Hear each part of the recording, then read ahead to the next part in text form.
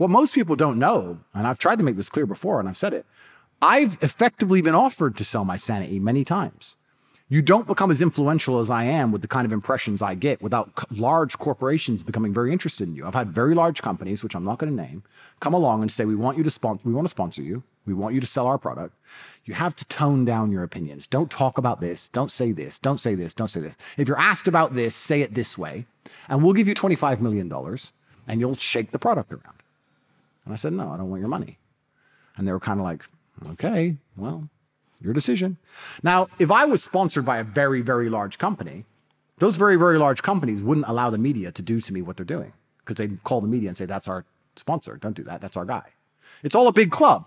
All I had to do was sell my sanity, James. All I had to do, cut my balls off, take the sanity out my mind, and take the money.